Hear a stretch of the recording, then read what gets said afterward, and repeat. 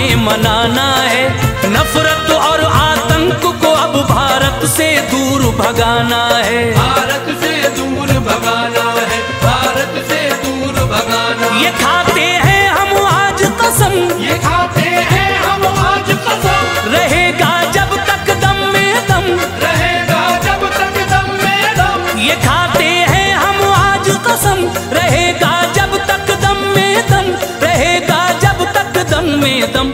तिरंगा लहराएँगे हम तिरंगा लहराएँगे हम।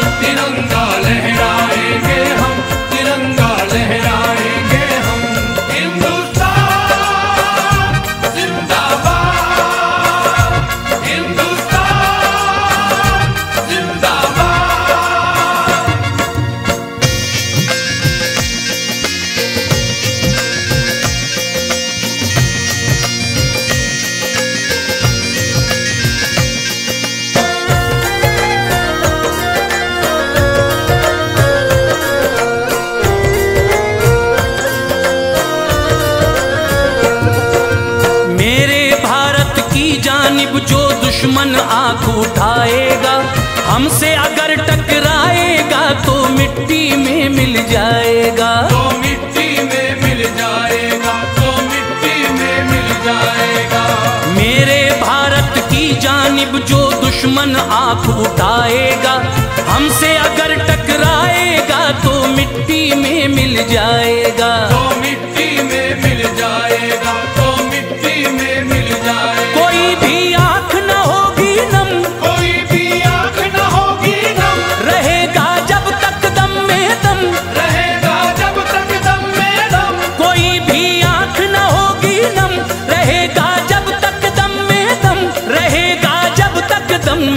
हम तिरंगा लहराएँगे हम तिरंगा लहराएँगे हम तिरंगा लहरा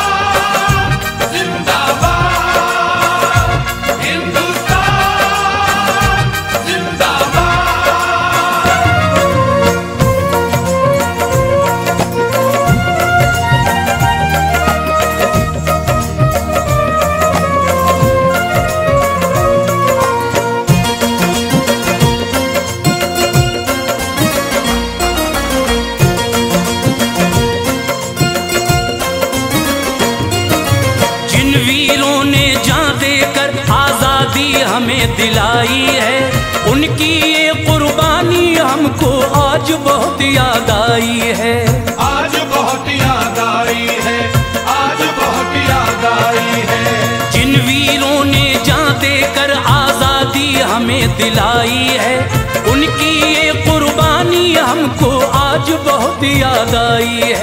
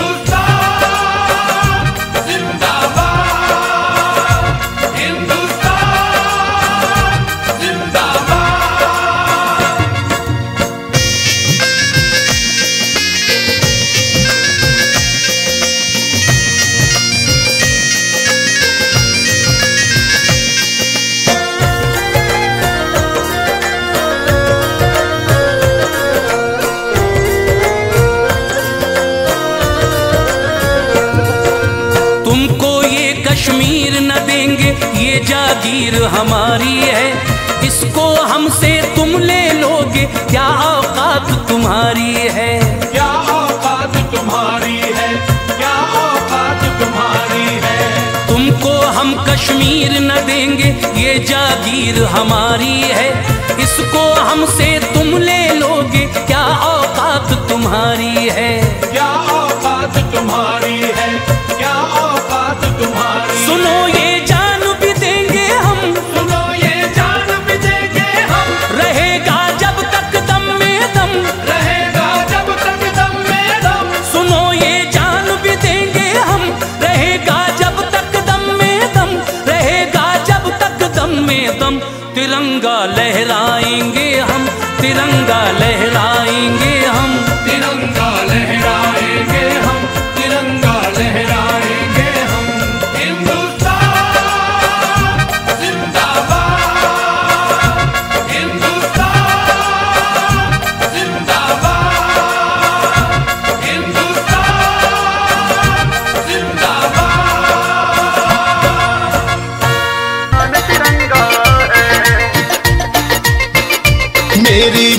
तिरंगा है मेरी शान तिरंगा है, मेरी जान तिरंगा है मेरी शान तिरंगा है। सारे भारतवासियों का मान तिरंगा है मेरी जान तिरंगा है, मेरी शान तिरंगा है, मेरी जान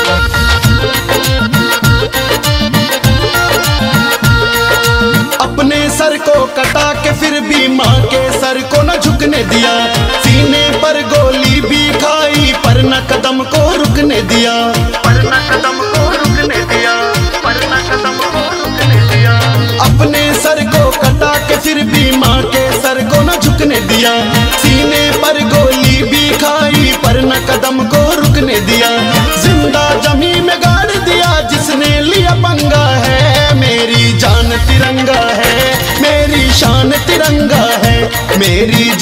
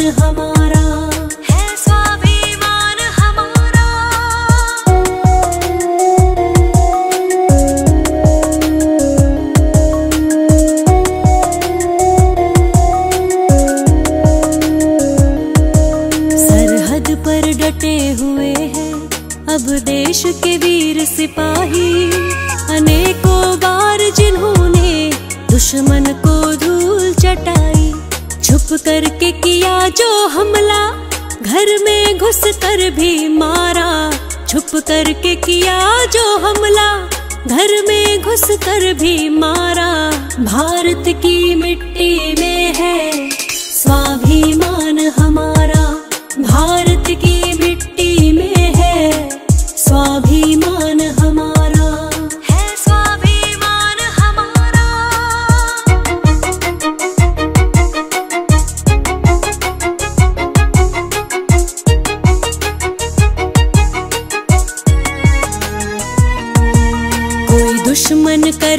सकता, डट कर के सामना हमारा। भरी कूट कूट कर हम में देशभक्ति की धारा। एक जोश नया जगता है सुन कर जय हिंद का नारा।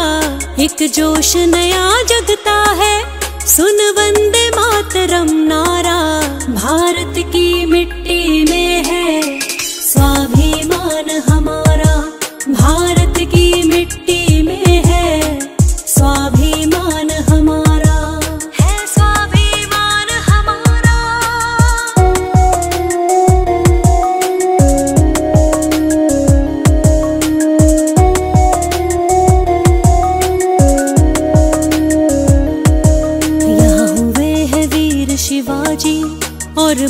सिंह जन्मे, यहाँ खूब लड़ी मर्दानी, झांसी के रण में। जिसने मरते मरते भी कई अंग्रेज़ों को मारा, जिसने मरते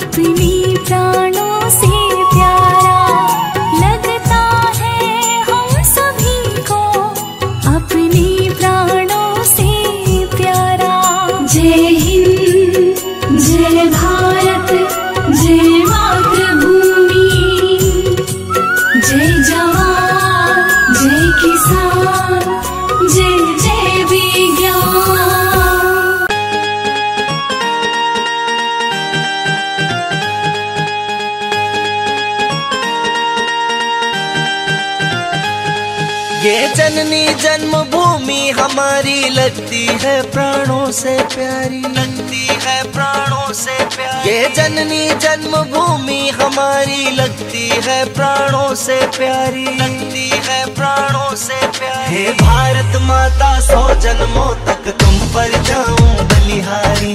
भारत माता सौ जन्मों तक तुम पर जाऊँ बलिहारी।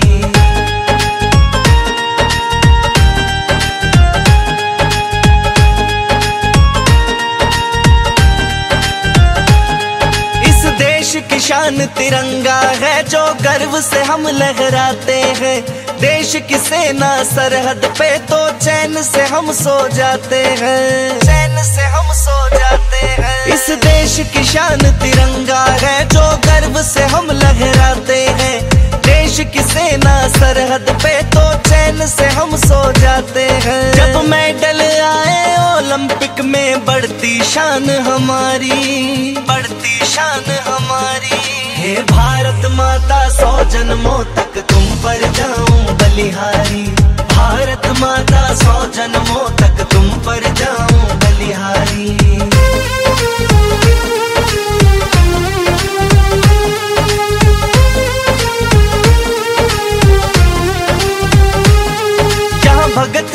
से वीर हुए जिसने हंस कर दी कुर्बानी। और वीरांगना ऐसी हुई जैसे झांसी की रानी। जैसे झांसी की रानी यहाँ भगत सिंह से वीर हुए जिसने हंस कर दी कुर्बानी। और वीरांगना ऐसी हुई जैसे झांसी की रानी प्राणों से ज़्यादा जिन्हें तेरी आन बान लगती प्यारी। आन बान लगती प्यारी। हे भारत माता सौ जन्मों तक तुम पर जाऊँ बलिहारी। भारत माता, सौ जन्मों तक तुम पर जाऊँ बलिहारी।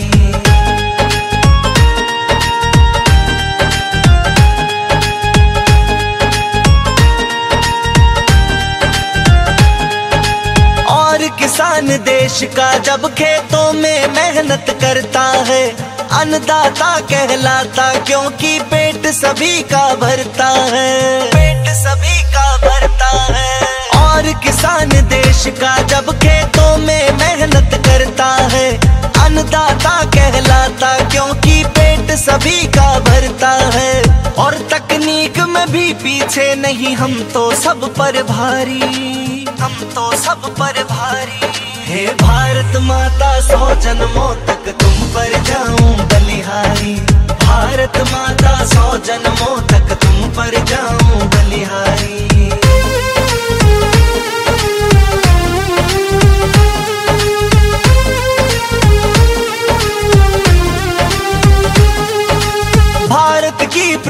संपदा का सबने लोहा मान लिया। विकसित एक दिन होगा, भारत फौजी सुरेश ने जान लिया। फौजी सुरेश ने जान लिया। भारत की प्रभुता संपदा का सबने लोहा मान लिया।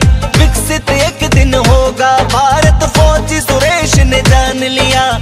विश्व गुरु फिर से बन जाए, मानती दुनिया सारी, मानती दुनिया सारी। हे।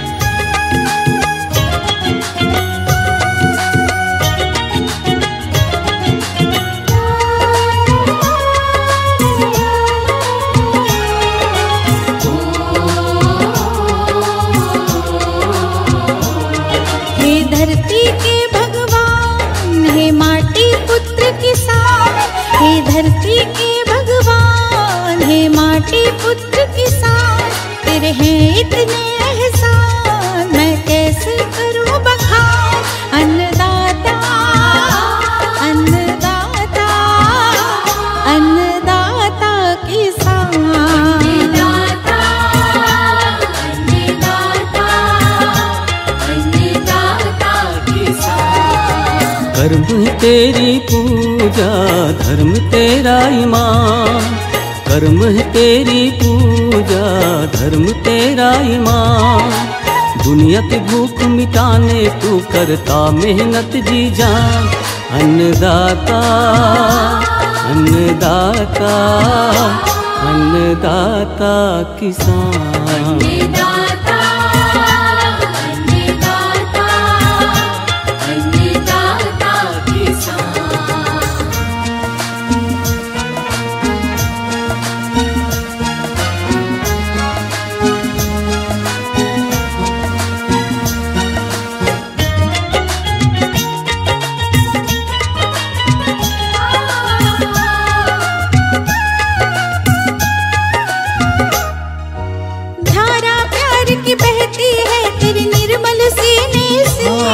फ़सलें भी प्यास बुझाती है तेरे तन के पसीने से। ही शक्ति पाता है सेना का हर जवान। तब धरती अंबर गाता है जय जवान जय किसान। भारत देश महान मेरा भारत देश महान। अन्नदाता। अन्नदाता।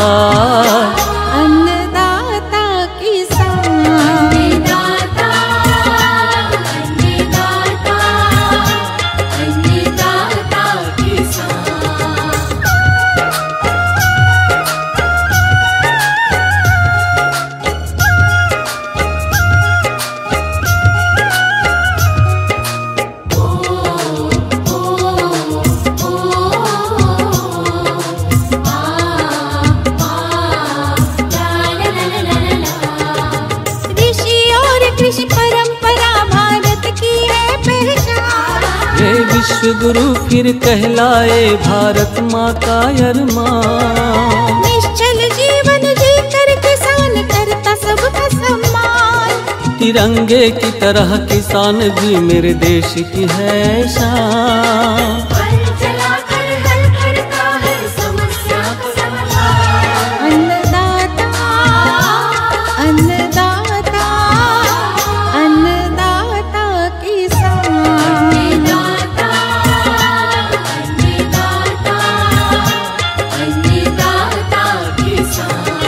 हे धरती के भगवान हे माटी पुत्र किसान। फिर है इतने एहसान मैं कैसे करूँ बखान? कर्म तेरी पूजा धर्म तेरा ईमान। दुनिया की भूख मिटाने तू करता मेहनत जी जान। अन्नदाता अन्नदाता अन्नदाता किसान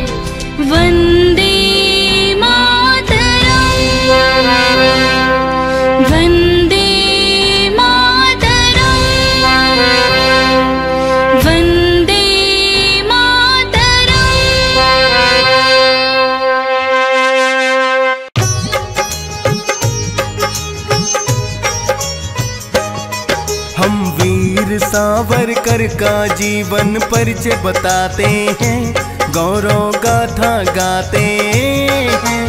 अंग्रेज़ों से लड़कर आज़ादी दिलवाते हैं, हम कथा सुनाते हैं।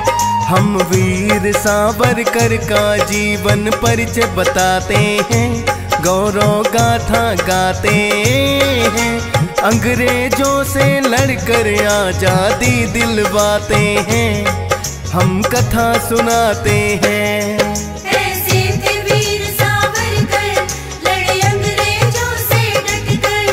ऐसे थे वीर सावरकर लड़े अंग्रेज़ों से डटकर। प्रिय देशवासियों आज हम आपको आज़ादी के महानायक वीर सावरकर के जीवन का इतिहास बताएँगे जिनको एक महान स्वतंत्रता सेनानी राजनीतिज्ञ वकील, समाज सुधारक और हिंदूवादी के रूप में जाना जाता है।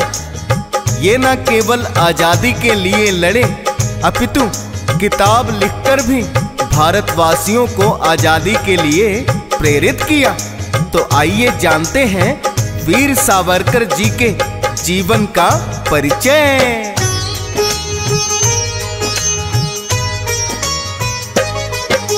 सन अठारह सौ तिरासी, अट्ठाईस मई का दिन।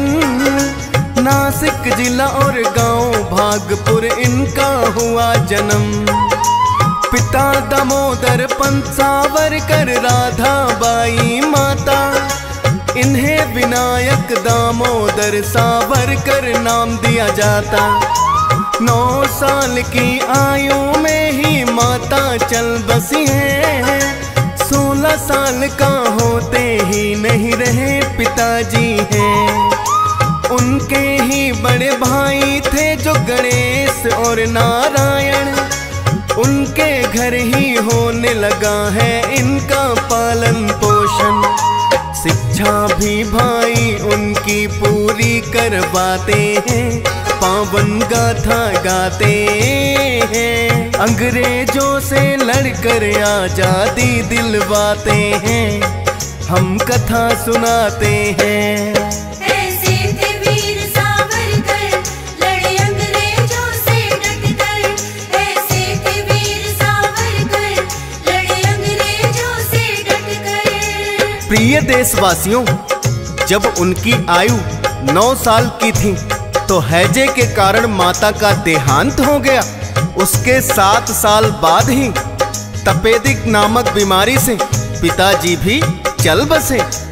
इनके दो बड़े भाई थे, नारायण एवं गणेश बाबा। बड़े भाई गणेश बाबा राव ने इनकी शिक्षा का खर्च उठाया। इनकी एक बहन भी थी, जिनका नाम मैना बाई था। ये अपनी बहादुरी के लिए जाने जाते थे, जिसके कारण इन्हें वीर सावरकर कहा जाता था। वीर सावरकर जब छोटे थे तो मित्र मेला नामक एक युवा समूह का आयोजन किया, जो लाला लाजपत राय, बाल गंगाधर तिलक और विपिंद्र चंद्र बोस जैसे कट्टरपंथी राजनीतिक नेताओं से प्रेरित थे और समूह को क्रांतिकारी गतिविधियों में शामिल करते थे। ये अपने बड़े भाई, बाबा गणेश राव से बड़े ही प्रभावित थे। इन्होंने पुणे के फर्ग्यूसन कॉलेज से स्नातक की डिग्री प्राप्त की।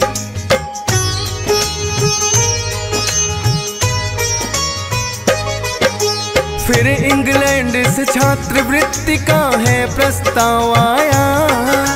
श्याम जी कृष्णा वर्मा ने है सारा खर्च उठाया। फिर तो वीर सावरकर शीघ्र ही पहुँच गए लंदन।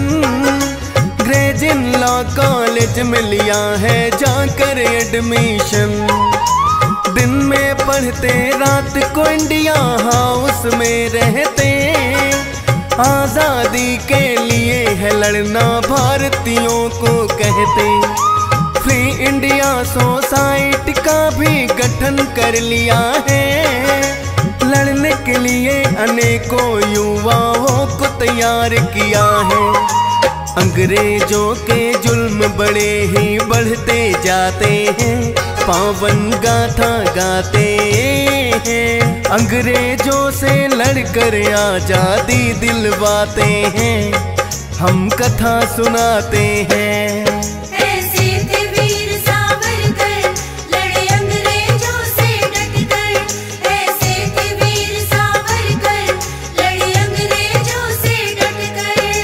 प्रिय देशवासियों, अपने लंदन प्रवास के दौरान इन्होंने अनेकों भारतीय युवाओं को आज़ादी के लिए लड़ने की खातिर प्रेरित किया। वहाँ इन्होंने इंडिया हाउस में शरण ली, जो उत्तरी लंदन में एक छात्र निवास था। वीर सावरकर को लिखने का भी खूब शौक था। इन्होंने the history of the war of Indian independence नामक एक किताब लिखी, जिसने कई भारतीयों को आज़ादी के लिए अंग्रेज़ों के खिलाफ लड़ने के लिए प्रेरित किया। ये किताब कुछ ही दिनों में इतनी लोकप्रिय हो गई कि अंग्रेज़ों ने इस पर प्रतिबंध लगा दिया।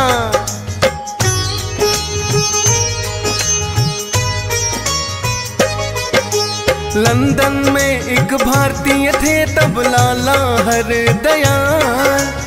इंडिया हाउस की करते थे वो ही देखभाल। मदन लाल ढींगरा भी होते थे क्रांतिकारी, जिन्होंने विलियम हटकर जनवायली को गोली मारी। जिसका ज़िक्र लंदन टाइम्स अखबार में हुआ है। लंदन टाइम्स पर ही इन्होंने फिर एक लेख लिखा है। जिसमें विलियम की हत्या को सही ठहराया है। अंग्रेज़ी सरकार को जिस पर क्रोध बड़ा आया है, गिरफ़्तार करने का इनको हुक्म सुनाते हैं, पावन गाथा गाते हैं। अंग्रेज़ों से लड़कर आज़ादी दिलवाते हैं, हम कथा सुनाते हैं।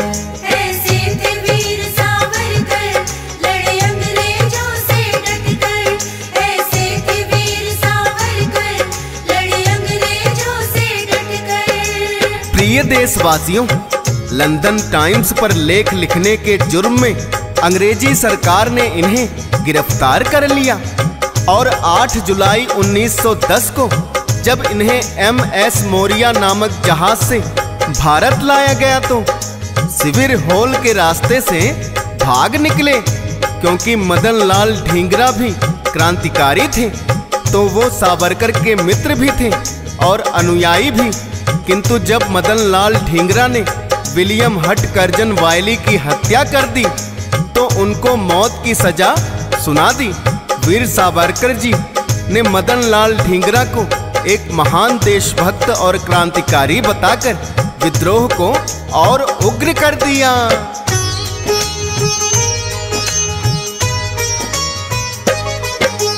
अंग्रेज़ी सरकार पे साधा इन्होंने जो है निशाना, इनको भी सरकार ने अपना तो है दुश्मन माना।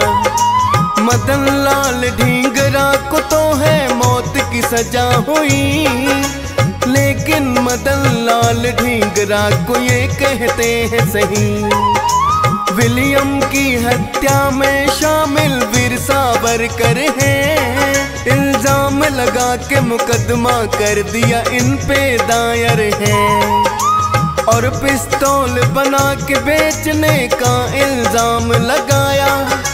झूठा मुकदमा वीर सावरकर जी पर है चलवाया। और आजीवन कारावास की सजा सुनाते हैं। पावन गाथा गाते हैं। अंग्रेज़ों से लड़कर आज़ादी दिलवाते हैं।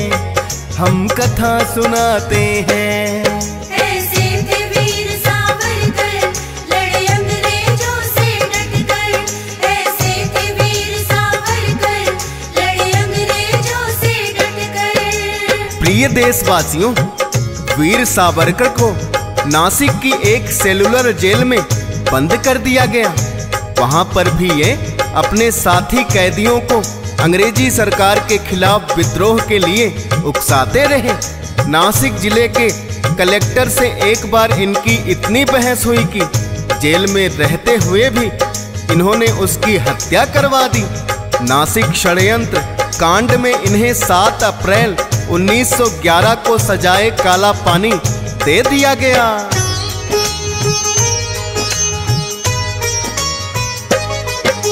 सबसे कठिन मानी जाती काला पानी सजा। जहाँ कैदियों को करना पड़ता है, परिश्रम बड़ा। छीला जाता जहाँ नारियल और निकलना तेल। और कैदियों को ही बनाते हैं कोल्हू के बैल। और भर पेट भोजन उनको ना दिया जाता था। सजाए काला पानी से हर कोई भय खाता। जुल्म बड़ा ही करे कैदियों पे अंग्रेज़ी सिपाही। नंगी पीठ पे लेके बेत वो करते खूब पिटाई। जाने कितने ही कैदी जेल में मर ही जाते हैं। पावन गाथा गाते हैं। अंग्रेज़ों से लड़कर आज़ादी दिलवाते हैं। हम कथा सुनाते हैं।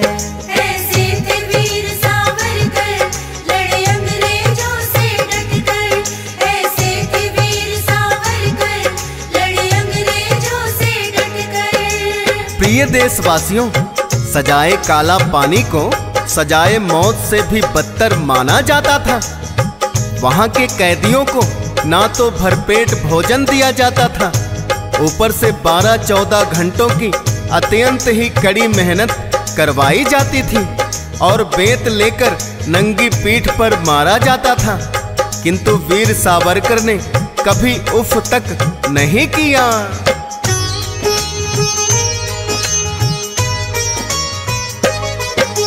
इनको तो सजा देने वाले ही थक जाते थे। मार पड़े चाहे कितनी भी पर ना कहराते थे। क्रांतिकारी थे ऐसे और कट्टर हिंदूवादी। इनके विचारों से सहमत कभी नहीं हुए हैं गांधी। वीर सावरकर अपनी नीतियों पर ही चलते थे। इनके यही विचार कई नेताओं को खलते थे। हिंदू महासभा में भी ये शामिल हो गए हैं। कट्टरपंथी हिंदू इनके कायल हो गए हैं।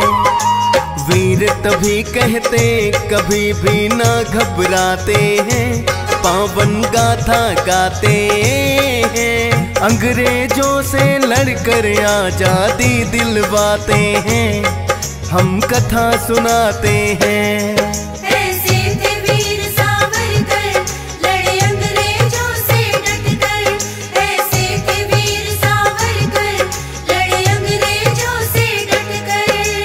प्रिय देशवासियों जेल में रहते हुए उनकी राष्ट्रीय स्वतंत्रता की भावना कम नहीं हुई। उन्होंने वहाँ अपने साथी कैदियों को पढ़ाना, लिखाना शुरू कर दिया। एवं जेल में ही एक बुनियादी पुस्तकालय शुरू करने के लिए सरकार से अनुमति भी ली।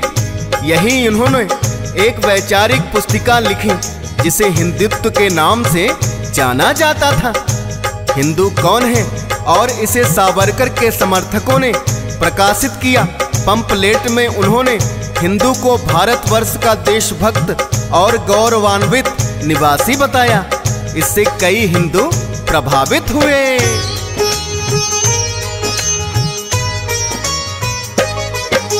वीर सावरकर सेनानी और देशभक्त तो थे।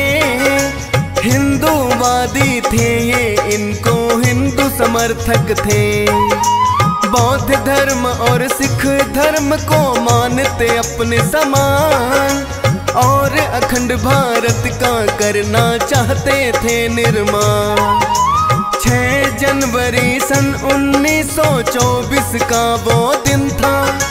सजा काट कर वीर सावरकर जेल से हुए रिहा रत्नागिरी हिंदू सभा का फिर निर्माण किया। योगदान अपने भारत के लिए है खूब दिया। हिंदू महासभा के अध्यक्ष फिर बन जाते हैं, पावन गाथा गाते हैं। अंग्रेज़ों से लड़कर आज़ादी दिलवाते हैं, हम कथा सुनाते हैं।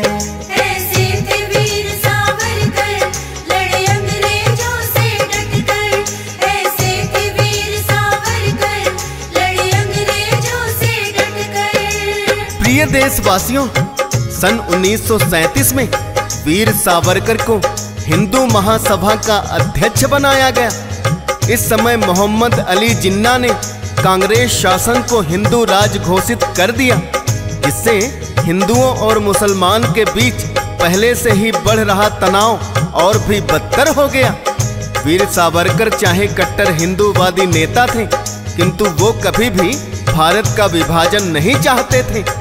मोहम्मद अली जिन्ना, पंडित जवाहरलाल नेहरू और महात्मा गांधी ने मिलकर भारत के विभाजन का फैसला लिया था, जिनका वीर सावरकर कट्टर विरोध किए थे।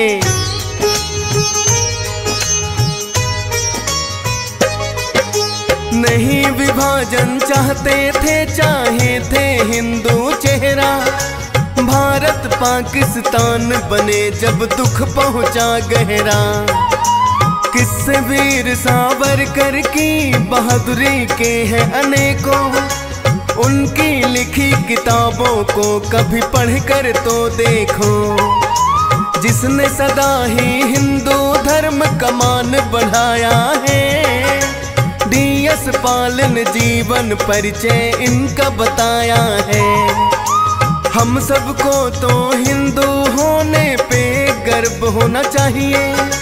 यदि करनी है रक्षा धर्म की, अब भी जाग जाइए। फौजी सुरेश सपने शब्दों से तुम्हें जगाते हैं, पावन गाथा गाते हैं। अंग्रेज़ों से लड़कर आज़ादी दिलवाते हैं, हम कथा सुनाते हैं।